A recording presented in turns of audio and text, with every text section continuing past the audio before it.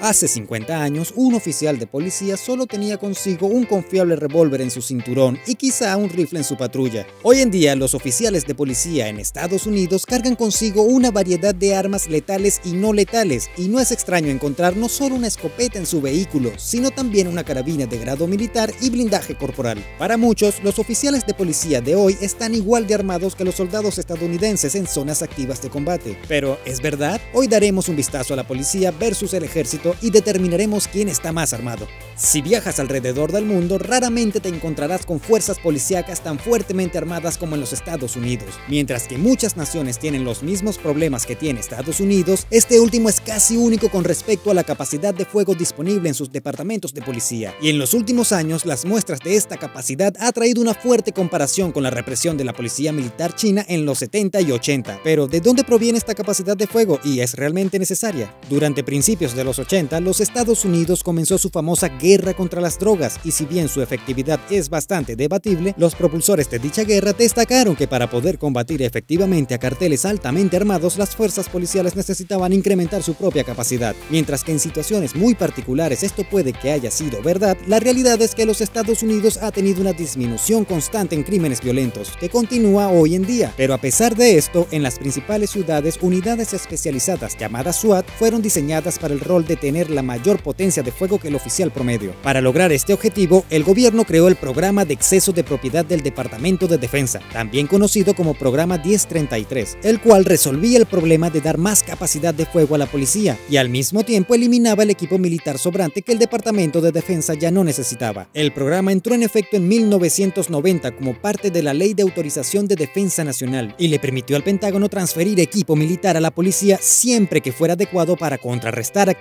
relacionadas a la droga. El traspaso inicial de 1990 fue por un total de un millón de dólares en equipo militar para la policía de las grandes ciudades que encaraban violencia relacionada a las drogas, pero para 2013 se concedían 450 millones de dólares en equipo. Sin un incremento en los crímenes violentos, ¿cómo se justificó el dramático incremento en equipo militar disponible para la policía? Responderemos a esa pregunta, pero primero tenemos que evaluar por qué el programa fue iniciado en primer lugar. Con la guerra contra las drogas en marcha, los carteles en los Estados Unidos empezaron a sus operaciones armando aún más a sus rufianes. Los crímenes violentos puede que hayan estado en declive en toda la nación, pero los carteles y sus vastas conexiones representaban una gran amenaza que a menudo no podía ser encarada por oficiales comunes. En respuesta a estas amenazas, los equipos SWAT fueron establecidos en todos los departamentos de policía importantes. Estos pronto empezaron a requerir mejores equipos para nivelar la balanza contra los operativos de los carteles altamente armados. Con la aprobación del programa, los equipos SWAT en las principales ciudades finalmente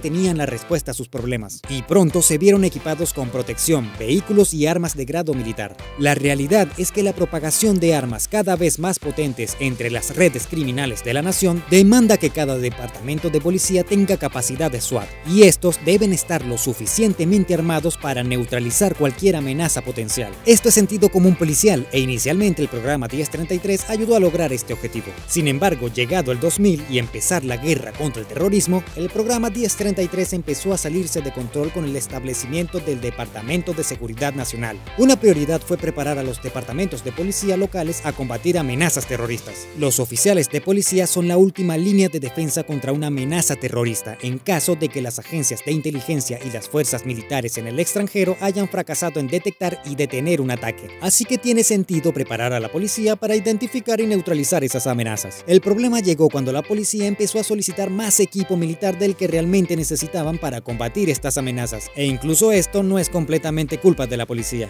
Con el establecimiento del Departamento de Seguridad Nacional y sus prioridades de combatir el terrorismo en casa, a la policía alrededor de la nación se les otorgó traspasos 1033 más grandes, pero con dos requisitos específicos. Primero, el equipo obtenido debía ser utilizado antes de finalizado un año de ser adquirido, o de lo contrario debía ser devuelto. Esto era para asegurarse que los departamentos de policía no se precipitaran y empezaran a adquirir todo tipo de equipos que resultaran innecesarios. El problema es que eso fue precisamente lo que hicieron y una vez adquiridos rifles de asalto y vehículos blindados, ahora tenían que usarlos en operaciones policiales o arriesgarse a tener que devolverlos. Debido a esto, la policía empezó a justificar sus compras de equipo de grado militar desplegando oficiales en blindaje corporal, equipados con rifles de asalto y conduciendo vehículos blindados a todas partes, desde realizar una orden de registro hasta monitorear protestas pacíficas. El equipamiento cuyo propósito original era ser usado en situaciones extremas contra criminales altamente armados ahora estaba siendo integrado en trabajo policial rutinario, porque de lo contrario el departamento de policía perdería todo ese equipamiento un año después de comprado. Obviamente esto no tiene mucho sentido ya que los crímenes violentos que requieren equipo de grado militar no suceden todo el tiempo, sin embargo sí suceden y si antes de llegar ese momento un departamento de policía no demostraba que necesitaba su nuevo equipo, ese departamento no lo tendría disponible para enfrentar a esos criminales altamente armados. Así que de alguna manera es difícil culpar a los departamentos de policía por responder a protestas pacíficas o entregar órdenes de registro con policías tan fuertemente armados que parecen soldados en Irak y no oficiales cuya función es proteger y servir a su comunidad. Por otra parte, tal muestra de fuerza de grado militar ha alarmado a muchos ciudadanos y creado una profunda desconfianza entre el público y los departamentos de policía de la nación. Otro factor del programa 1033 que sirvió para empeorar la situación fue el hecho de que, como muchas subvenciones federales, si el dinero otorgado no era utilizado, entonces el próximo año el Departamento de Policía podía recibir menos dinero. Esto alienta a la policía a surtirse cuando puedan para evitar el riesgo de no tener los fondos suficientes para los verdaderos problemas. Este surtimiento de equipos militares luego necesita ser justificado y de esta manera regresamos al primer problema del despliegue de oficiales de policía que están cada vez más armados. Por último, el Departamento Departamento de Defensa es el principal culpable de tanto armamento en los departamentos de policía. Conforme la guerra en Irak y Afganistán perdía intensidad, el Departamento de Defensa terminaba con una gran cantidad de equipo militar sobrante y nada que hacer con él. Estos equipos representaban millones de dólares que ya no servían un propósito. Desde gases lacrimógenos, rifles de asalto M4, blindaje corporal y vehículos blindados. Una manera práctica de recuperar parte de estas pérdidas era traspasando esos equipos al Departamento de Seguridad Nacional, cual a su vez lo puso a disposición de las fuerzas policiales a través del programa 1033. Al ser comprado con dinero federal, reembolsaría parte de los gastos del Departamento de Defensa y fue visto como un mejor fin en lugar de ser almacenado o destruido. Esta práctica duró años y solo finalizó en 2015 cuando el presidente Barack Obama ordenó poner fin a las transferencias de equipo militar del Departamento de Defensa, advirtiendo que debía buscar otra manera de encargarse del equipo de guerra excedente. Desafortunadamente, miles de millones de dólares en estaban en manos de la policía y como hemos aprendido hoy, esos departamentos debían justificar esas compras usándolos antes de finalizar un año de adquiridos.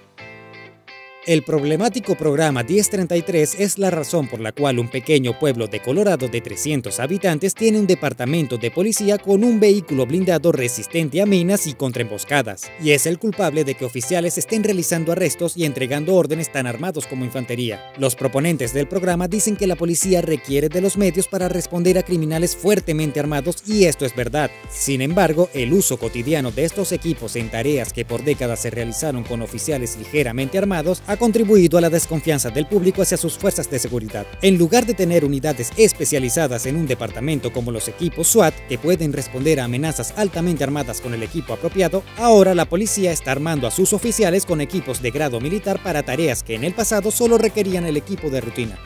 Esto solo ha servido para empeorar la relación entre la policía y el público al que deben servir, y no hay duda alguna que hay cero necesidad para que vehículos blindados atiendan protestas pacíficas.